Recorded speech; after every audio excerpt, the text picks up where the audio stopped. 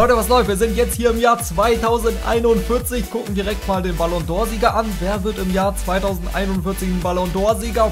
Ja, Real Madrid hat den Ballon d'Or-Sieger. Sieht sehr stark nach einem Region aus. Ja gut, es gibt jetzt auch nicht mehr so viele Spieler. Gibt es überhaupt jetzt noch einen Spieler, der am Start ist? Wir sehen einfach den Son Region hier bei Real Madrid mit einer 90er Gesamtstärke. Der ist auch schon 28 Jahre hier alt. Wir sehen zum Beispiel Jude Bellingham, 38 Jahre alt, beendet aber jetzt auch seine Karriere. Genauso wie dieses Top-Talent Talent. Gravenberg 39 Jahre alt, die beenden alle ihre Saison. Guardiol und Erling Haaland ist sogar noch da mit 41 Jahren und einer 81er Gesamtstärke. Okay, sowas sehe ich echt zum ersten Mal. Hätte ich nicht gedacht, mit 41 spielt er hier einfach noch. Mbappé spielt aber nicht mehr, aber wir können uns ja natürlich seinen Regen jetzt hier angucken. Und ich denke, hier haben wir ihn gefunden. 20 Jahre alt, spielt hier einfach mal bei der Hertha 90er Gesamtstärke. Jetzt schon einer der besten der Welt. Da sehen wir auch das ganze linker Flügel als Zweitposition Position. Wir werden heute natürlich noch weitergehen als dieses Jahr und auch ein bisschen zurück und einfach gucken, was so in der Zeit passiert ist nach 2035. Wir sehen einfach in der Bundesliga ist Mainz 05 Tabellenführer und Bayern München ist bitte wo? Sie sind einfach auf dem 11. Platz. Was ist da denn passiert? Okay, Bundesliga Gladbach auf dem letzten Platz. Hier passieren wirklich sehr verrückte Sachen. Der Regen von Lionel Messi ist hier auch schon 32 Jahre alt ist aber ohne Verein. Und den Regen von CR7, wo auch was ganz Cooles passiert ist, zeige ich euch gleich. Lasst davor noch einen Daumen nach oben da. Schaffen wir hier die 1111 Likes für dieses Video. Das wird hier noch richtig spannend. Wir gucken einfach mal durch die Jahre durch. Natürlich auf Champions League Sieger, wie es weiter in der Bundesliga geht und so. Deswegen dranbleiben und falls ihr es noch nicht gemacht habt, abonnieren und die Glocke aktivieren. Jetzt gucken wir uns kurz nochmal den CR7 Regen an, der hier einfach wieder bei Manchester United spielt. Das passt natürlich perfekt. Auch hier schon 33 Jahre alt. Aber uns erwarten natürlich natürlich noch weitere Überraschungen. Facecam geht aus und wir legen jetzt so richtig los. Wir sind jetzt hier am Ende der Saison 2042. Wir gucken direkt mal rein. Aber gut, englische vierte Liga ist, denke ich, nicht so interessant. Europa League sehen wir, dass Empoli das ganze Ding hier gewinnt. Leeds United im Finale. Champions League schauen wir auch direkt mal rein. Da sehen wir Liverpool und Inter Mailand. Liverpool kann das ganze Ding hier für sich entscheiden. Aber so die Mega-Überraschungen sind jetzt, würde ich sagen, nicht hier. Gucken wir mal in den Superpokal. Welche Teams haben Champions League und Europa League geholt? Ja, ich glaube, Liverpool Liverpool hat davor auch die Champions League geholt. Okay, Liverpool extrem dominant, gucken wir uns gleich an. Inter Mailand aber da mit dem Titel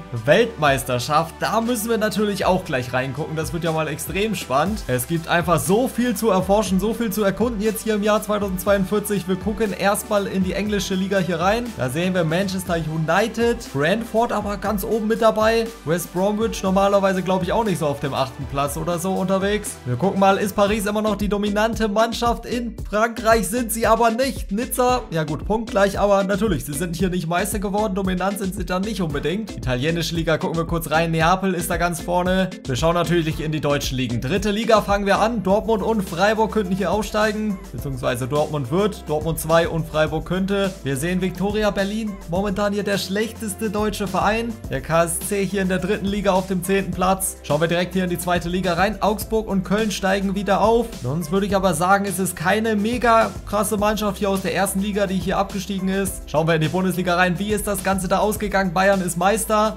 Werder Bremen da mittlerweile auf dem vierten Platz. Das ist natürlich eine extrem coole Sache. Wie haben die sich entwickelt? Wir sehen ja auch, direkt Schalke wird auch in der ersten Liga wieder spielen und auch Hamburg. Also ich würde sagen, das ist schon mal die heftigste Überraschung. Hertha BSC, da ist es ja meistens so im Karrieremodus, dass die da ganz gut am Start sind. Dortmund hier Zweiter, das ist auch nichts Besonderes. Schalke sehen wir hier im Mittelfeld. Hamburg steigt auch nicht ab, 14. Platz. Gladbach steigt aber tatsächlich einfach ab mit 21 Punkten. Also ich würde sagen, Bundesliga extrem spannend hier. Verfolgen wir das einfach weiter Ein paar Teams müssen wir uns natürlich jetzt hier angucken. Wir fangen an mit Werder Bremen. Machen wir hier einfach mal die Stürmer. Da sehen wir, die haben den 84er Stürmer. Das sieht natürlich extrem gut hier aus. Ein paar 80er sind noch mit dabei. Ein 85er Innenverteidiger. Also, ja, Werder Bremen hier richtig gut dabei. 83er Keeper. Aber ich denke, noch interessanter ist, was mit Gladbach da passiert ist. Letzter Platz in der Bundesliga. Wir sehen hier die Stürmer. Hier sehen wir das Mittelfeld und das ist schon, ja, relativ dünn besetzt, aber jetzt auch nicht komplett schlecht. Verteidigung gucken wir uns hier an. Da sehen wir kein keinen einzigen, der die 80er Gesamtstärke hat. Daran liegt es wahrscheinlich so ein bisschen. Und auch am Torwart, da ist auch nur ein 80er da. Nächste Saison, Dezember 2042. Wir gucken uns natürlich wieder den Ballon d'Or-Sieger hier an. Da sehen wir, das geht an einen Spieler von Chelsea. Wir können natürlich überhaupt nicht erkennen, wer es ist. Wir werden es aber jetzt natürlich rausfinden. Ja, und das ist schnell herausgefunden. Wir sehen einen Stürmer, 93er. Das muss der Lewandowski-Regen sein. Die Regens haben ja oft noch einen Stärkepunkt dazu irgendwann. Ja, und Lewandowski natürlich hier extrem stark, aber auch hier schon 32 Jahre alt. Was passiert eigentlich so in den Champions League-Gruppen? Gibt es da überhaupt Überraschungsmannschaften? Wir sehen natürlich Empoli da in einer Gruppe, die sind leider nicht weitergekommen. Wir haben ja auch in die besten Ligen schon reingeschaut. Also so wirklich extrem krasse Überraschung, außer natürlich Werder Bremen. Ich wollte gerade sagen, extrem krasse Überraschung gibt es hier nicht, aber ja, Werder Bremen hier in der Champions League weitergekommen, das erinnert mich natürlich an alte Zeiten. Die sind einfach jetzt hier im Achtelfinale der Champions League. Bin sehr gespannt da später auf den Gegner. Sonst würde ich sagen, Nizza natürlich vielleicht noch so ein bisschen, aber sonst gibt es jetzt nicht die mega krassen Überraschungen. Aber Werder Bremen, deutscher Verein, der in der zweiten Liga startet, jetzt hier in der Champions League spielt, den müssen wir natürlich ganz aktiv verfolgen. Wir schauen uns auch mal das Team of the Year an, obwohl wir da wahrscheinlich keinen einzigen an dem Namen erkennen werden. Kleine Sache noch vorher, während wir hier im Pokal gegen Liverpool spielen, da können wir ja direkt mal reingehen, aber wir sehen ja nicht die Gesamtstärken. Deswegen so extrem interessant ist es hier auch nicht. Wir haben ja bis mittlerweile 2043 hier simuliert. Ich habe auch in einem älteren Save hier so ein bisschen angefangen. Das heißt, Spieler wie Mokoko und so weiter sind zum Beispiel nicht dabei. Den kann ich hier also leider nicht angucken, aber der wird dann auf einer 89 sein, wenn ihr soweit simuliert. Oder maximal dann auf der 90er Gesamtstärke. So, wir wollten uns ja das Team of the Year angucken. Hier sehen wir auch das Ganze, aber natürlich erkennen wir davon jetzt nicht so viel. Ich werde mir aber mal ein paar Namen rausschreiben und dann mal angucken, welche Regions das sind. Wir sehen erstmal hier den Trainer des Jahres, Simeone. Ich weiß nicht, ob er da noch Trainer von Atletico Madrid ist. Hier in der Karriere natürlich schon. Und bevor wir uns die besten Spieler des Jahres hier angucken, wollen wir natürlich auch auf die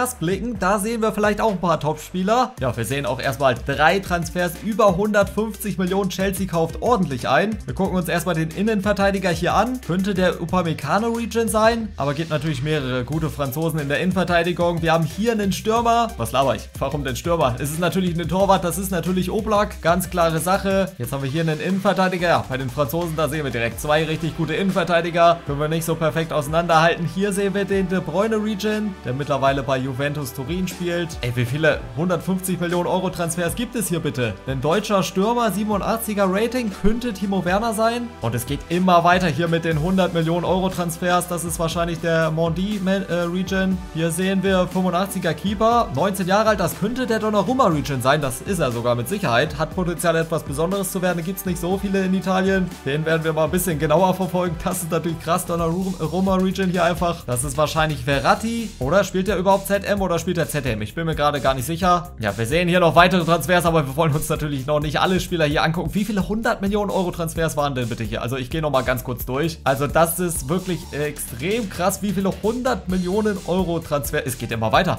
Es geht immer weiter. Okay, hier ist dann auch mal Schluss. Hertha holt sich einen Innenverteidiger 84er Gesamtstärke. Aber ja, die Transfers, die eskalieren hier mal komplett. Union Berlin macht einen 80 Millionen Euro Transfer. Okay, aber wir gucken gleich natürlich noch weiter in Transfers rein. Jetzt erstmal zum Team of the Year. Ja, und das ist irgendwie anscheinend verbuggt oder so, denn der Torwart ist El Hindi, aber El Hindi ist ein rechter Flügel. Ihr könnt es vielleicht schon erahnen. Es ist natürlich der Salah Region, der hier bei Manchester United spielt. Das passt vielleicht nicht so perfekt. Aber kein Plan, warum der jetzt hier als Torwart aufgeführt ist. Vielleicht hat er da so ein bisschen ausgeholfen. Wir sehen hier einen 86er Innenverteidiger. Könnte in die Richtung Marquinhos oder, ja, Thiago Silva denke ich eher nicht mehr. Aber so Marquinhos oder so sollte das sein. Aber 36 Jahre alt. Na, ich bin mir nicht komplett sicher. Alle Spieler finde ich hier nicht, aber hier finden wir den Bruno Fernandes Region. 29 Jahre hier alt, spielt bei Paris. Und wir sehen hier erstmal den Robertson, aber es ist natürlich nicht der normale Robertson als Linksverteidiger, sondern einfach sein Region, der aber einfach genauso heißt. Da hat EA anscheinend hier drei Namen für die schottischen Spieler. Was für ein komischer Zufall. Und wir sehen hier nochmal einen extrem interessanten Spieler. Ein Japaner mit einer 91er Gesamtstärke hier bei Atletico Madrid. Aber wir sind jetzt hier schon zu lange im Januar. Wir gehen jetzt direkt ans Ende der Saison. Und WM bzw. EM habe ich natürlich jetzt verpasst. Aber gleich machen wir noch ein großes Turnier. Bevor wir jetzt zur Europa League und Champions League natürlich kommen, gucken wir uns erstmal die Ligen hier an. Diesmal gucken wir uns aber nur die Premier League an. Da sehen wir, Liverpool ist wieder Meister. Gut, letztes Mal war es ja United. Aber die mega Überraschung sehen wir da jetzt nicht auf der ersten Position. Brighton hier auf dem achten Platz. Wer steigt zum Beispiel ab aus der Premier League? Da ist jetzt kein wirklich heftiges Team mit dabei. Schauen wir direkt auf die schlechteste deutsche Mannschaft, die momentan hier im Spiel ist. Und das ist Kaiserslautern. Aber extrem enge Sache hier, ganz hinten in der Tabelle. Schauen wir direkt in die zweite Liga rein. Ja, da ist Gladbach wieder aufgestiegen. Es war doch nur ein Ausrutscher hier. Hier seht ihr noch kurz die Absteiger. Aber schauen wir lieber hier in die Bundesliga rein. Wer ist Meister geworden? Bayern oder Dortmund? Dortmund ist Meister geworden. Aber ja, Hertha BSC kommt so langsam ran. Zweiter Platz jetzt hier. Werder leider hier nur auf dem achten Platz. Aber da verfolgen wir natürlich gleich die Champions League. Wer ist hier abgestiegen aus der Bundesliga? Köln und Hoffenheim. Hamburg muss in die Relegation. Sehen wir natürlich nächstes Jahr, ob die es geschafft haben. Schauen wir jetzt aber natürlich in die internationalen Wettbewerbe rein. Wir gucken in die Europa League. Da sehen wir Newcastle United. Hier in der Karriere haben die noch nicht so viel Geld zur Verfügung. Spielen hier gegen Stuttgart im Finale, gewinnen das ganze Ding. Aber wir gucken jetzt in die Champions League Finale. Sehen wir Liverpool gegen Leicester City. Und Leicester City mit einem neuen Wunder. Die holen sich hier die Champions League. Aber wir wollen natürlich einen deutschen Verein hier verfolgen. Und das ist Werder Bremen. Die sind im Achtelfinale gegen Barcelona. Okay, das sind jetzt so voll die Flashbacks. Damals, wo Ronaldinho noch gegen Werder Bremen in der Champions League gespielt hat. Hier kommen sie einfach im Jahr 2043 weiter, sind im Viertelfinale und gewinnen das ganze Ding. Werder war einfach hier im Halbfinale, ist da gegen Liverpool rausgeflogen. Aber was ist bitte hier mit Werder Bremen los? Ich glaube, ich hole mir eine Zeitmaschine und springe dann einfach zum Jahr 2043, damit ich da mal wieder guten Fußball von Werder Bremen sehe. Und wir müssen natürlich jetzt nach einem ganz, ganz besonderen Spieler hier suchen. Ich glaube, jetzt bei der Nation sollte jeder Bescheid wissen. Wir suchen jetzt den Region von Erling Haaland. Und da haben wir ihn auch direkt schon gefunden, aber nur hier mit einer 4 84er Gesamtstärke. 18 Jahre alt. Natürlich nicht das allerheftigste Rating, wenn man das Potenzial sich einfach ansieht. Da gibt es Spieler, die so ein bisschen höher gehen dann von den Regions. Aber trotzdem natürlich nicht schlecht. Den können wir hier noch so ein bisschen weiter verfolgen. Aber gut, der wird hier heute vielleicht noch keine extrem große Rolle spielen. Wir schauen mal, wie weit kommt die Hertha mit dem MVP Region in der Champions League. Und ich frage mich immer noch, was hier mit diesem Spieler passiert ist, denn es gibt keinen Japaner, der 91 Potenzial hat. Der beste ist Kubo, der hat 88 Potenzial, spielt aber auch andere Position. Die anderen Regents, die sind natürlich leicht zu erkennen. Der CR7 Regent, der wird hier bald auch seine Karriere beenden. Genauso wie Lionel Messi, der immer noch ein freier Spieler ist. Schauen wir direkt mal, was so ein bisschen die Transfers diese Saison gemacht haben. Sind die wieder komplett ausgerastet? Ja, das sieht schon mal gut aus. 141 Millionen, 123 Millionen. Italienischer Stürmer müsste Immobile sein. Wir schauen uns nicht jeden Spieler hier ausführlich an, aber ja, hier wechselt ein Spieler für 100 Millionen zu Almeria. Die sind normalerweise ja nicht so extrem gut. Liverpool verstärkt sich auch. Also natürlich interessante Transfers, aber wir haben gleich noch ein paar interessantere Sachen. Dezember 2043, ihr wisst Bescheid, wir gucken uns den Ballon d'Or-Sieger hier an. Das wird dieses Mal ein Spieler von Atletico Madrid, das rechte Mittelfeld. Ja, genau so ist es. 91er Gesamtstärke, jetzt nicht nur im Team of the Year, sondern auch der Spieler des Jahres. Also die asiatischen Spieler, die übernehmen hier einfach mal komplett den Ballon d'Or-Preis. Sieht man normalerweise bis zum Jahr 2035 eher sehr, sehr selten. Schauen wir direkt in die Champions League rein. Da verfolgen wir natürlich den deutschen Verein mit, den, mit dem MAP-Region natürlich. Hertha BSC, die wir momentan noch nicht hier sehen. Leverkusen ist aber weitergekommen. Und Hertha ist auch weitergekommen als Gruppenerster mit Newcastle in einer Gruppe. Wir sehen, Dortmund ist hier schon wieder rausgeflogen. Das ist mittlerweile irgendwie eine Europa League-Mannschaft. Wir sehen aber auch, Manchester United macht den gleichen, ja gut, was heißt Fehler, aber wir sehen da auf dem ersten Platz eine Überraschungsmannschaft, die Manchester United hier einfach rausging. Und wir sehen einfach mal, ja, da habe ich gar nicht drauf geachtet. Wir sehen den SC Freiburg, der hier einfach mal Gruppenerster vor Barcelona wird wird. Okay, wir haben natürlich jetzt zwei deutsche Vereine, die wir verfolgen. Leverkusen natürlich auch. Mai 2044, wir gehen schon langsam Richtung Ende. Zuallererst, bevor wir uns die Wettbewerbe angucken, müssen wir uns erstmal die beiden deutschen Überraschungsteams da angucken. Hertha BSC ist davon eher noch das Team, was jetzt nicht die extreme Überraschung ist hier im Karrieremodus. Wir sehen natürlich hier noch den 95er Mbappé Region. Hier sehen wir das Mittelfeld. Die sind natürlich extrem stark besetzt. Das hier müsste Thomas Müller sein, kann aber genauso Kai Havertz Region Region oder Würz Region sein. Hier gehen wir nochmal ganz kurz die besten Verteidiger durch. Schauen wir uns den Torwart an. Das ist natürlich eines der wichtigsten Sachen. Und da sehen wir einen Portugiesen. Maximiliano oder so könnte das sein. Und das könnte natürlich Lunin sein, beziehungsweise mit Sicherheit. Oder ich glaube, da gibt es noch ein anderes gutes Talent. Aber ja, zwei sehr starke Keeper. Wundert also nicht, dass die da ja ein bisschen übernehmen in der Champions League und in der Bundesliga. Freiburg aber natürlich jetzt hier das Werder Bremen aus der letzten Saison. Gucken wir uns die Mannschaft hier an. Wir sehen hier schon mal die Stürmer. Da haben wir einen 90er Stürmer und das ist sehr wahrscheinlich, ja, der Neymar Region. Einer der besten der Welt und hier einfach mal bei Freiburg gelandet. Sehr, sehr krasse Sache, krasse Entwicklung auch hier. Gucken wir uns das Mittelfeld hier nochmal an. Das ist ja wirklich äh, sau interessante Mannschaften. Ich hätte nicht gedacht, dass es so extrem heftige Überraschungen gibt. Meister und so habt ihr ja gesehen, da ist es immer noch so ein bisschen langweilig. Hier sehen wir noch kurz die Verteidigung. Und der Torwart, ja gut, die haben nur einen 82er Keeper. Also so extrem gut ist der Keeper nicht. Hoffen wir aber trotzdem, dass sie natürlich weit in der Champions League gekommen sind. Und wir schauen heute, also in diesem Video jetzt nochmal das letzte Mal in die Ligen. Wir können gerne aber noch einen zweiten Teil machen. Ich weiß nicht, ob man jetzt noch weitergehen kann, weil die EM wollen wir natürlich gleich noch mitnehmen. Wir nehmen jetzt erstmal die italienische Liga mit und da sehen wir, würde ich sagen, zwei Überraschungen. Rom wird normalerweise nicht Meister und Genua, ja, ist normalerweise auch nicht auf dem zweiten Platz. Und ja, auch die beiden ähm, Calcio-Teams, beziehungsweise drei Calcio-Teams. Gut, Bergamo zählt nicht dazu. Aber italienische Liga, würde ich mal sagen, ist komplett durchgewirbelt. Inter Mailand hier nur auf dem neunten Platz. Der AC Mailand hier auf dem 18. Platz. Lazio Rom auf dem 16. Okay, italienische Liga wurde einfach mal komplett durchgewürfelt. Extrem interessant. In Frankreich war das Ganze, denke ich, nicht so. Da ist Paris wieder Meister. Schauen wir uns noch die Premier League an. Wer hat das ganze Ding gewonnen? Manchester City, aber West Ham hätte hier fast die Sensation geschafft. Einfach drei Teams punktgleich an der Spitze.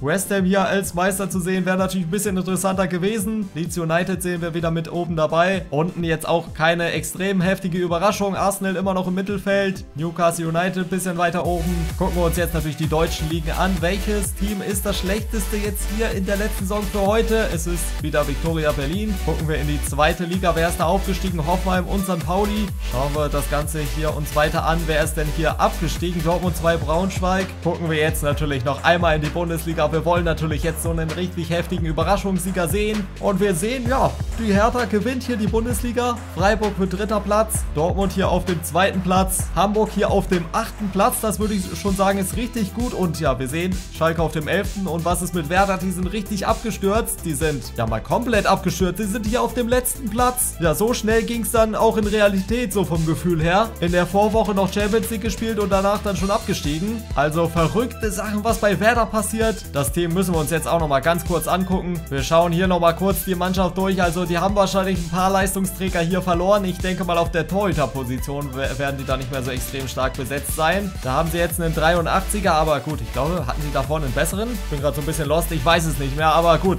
sind abgestiegen, das bringt denen auch nichts. Also komplett verrückte Wendung. Wir sehen hier unten natürlich die Europameisterschaft, schauen aber jetzt erstmal hier in die Europa League rein. Da sehen wir Leeds United gewinnt das ganze Ding. Wir können ja hier auch mal ein bisschen reinschauen. Da sehen wir Bayern, Manchester United, Dortmund, Chelsea. Also gefühlt ein Champions League Viertelfinale. Hier einfach mal in der Europa League Achtelfinale. Gucken wir auch nochmal ganz kurz rein. Aber schauen wir natürlich lieber jetzt hier in die Champions League. Und da sehen wir, ja, dass Berlin einfach das ganze Ding hier gewinnt gegen Liverpool. Ja, ich würde sagen, eine perfekte Saison für die Hertha. Wir schauen nochmal kurz rein. Wie ist es bei Freiburg gelaufen? Die sind im Achtelfinale gegen Newcastle United weitergekommen. Sind dann aber leider gegen Liverpool rausgeflogen. Aber trotzdem trotzdem, natürlich sehr, sehr heftige Leistung von Freiburg und natürlich noch heftiger von Berlin. So, wir sind jetzt im Finale. Wir gucken uns zu allerletzt hier nochmal die Europameisterschaft an. Vorschläge, was wir noch uns angucken sollen, gerne in die Kommentare. Wenn es gut ankommt, machen wir den zweiten Teil.